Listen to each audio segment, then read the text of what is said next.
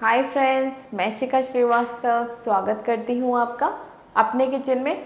Bread की हम बहुत सारी डिशेस बनाते हैं ब्रेड उपमा बनाते हैं ब्रेड उत्पम बनाते हैं। बहुत सारी चीज़ें बनती हैं ब्रेड की तो आज मैं बनाने जा रही हूँ गार्लिक ब्रेड जो कि आजकल सभी बच्चों को और बड़ों को अच्छी लगती है। तो चलिए इसे बनाना शुरू करते हैं। गार्लिक ब्रेड बनाने के लिए सबसे पहले मैंने ली है चार ब्रेड ली है मैंने। वाइट ब्रेड है, आप इसकी जगह ब्राउन भी ब्रेड ले सकते हैं।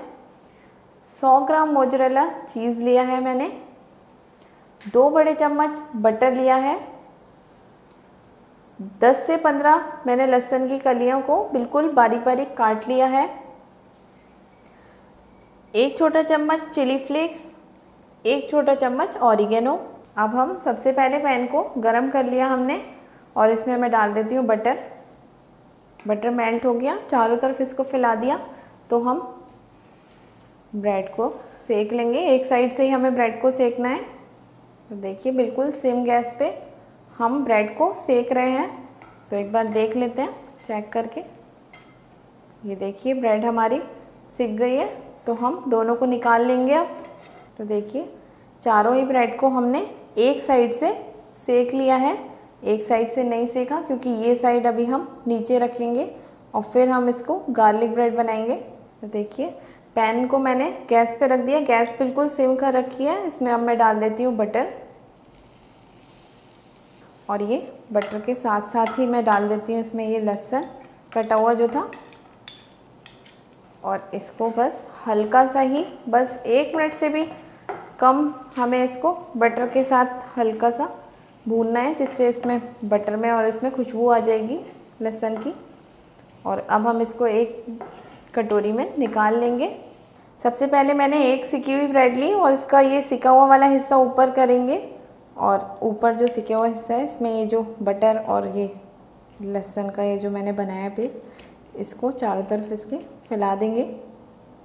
ये दोनों चीज़ें डालने के बाद अब मैं चीज़ इसमें घिस देती हूँ चारों तरफ़ ब्रेड के। चीज़ मैंने अच्छे से इसमें घिस के डाल दिया है और अब ये ऑरिगेनो डाल देते हैं। चिली फ्लेक्स भी डाल देते हैं।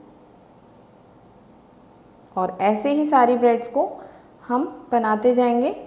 तो देखिए, वही पैन मैंने यूज़ किया है जिसमें लहसुन और बटर को मैंने फ्राई किया था और अब मैं इसमें ये ब्रेड रख देती हूँ। और गैस बिल्कुल सिम रखनी है और इसको मैं इससे ढाँक देती हूँ। तो देखिए, तीन मिनट हो गए हैं और मैं चेक कर लेती हूँ अपनी ब्रेड को। तो देखिए, ब्रेड हमारी बिल्कुल अच्छे से तैयार हो गई है और गैस को ऑफ़ कर देती हूँ मैं। चीज़ भी बिल्कुल मेल्ट हो गया है।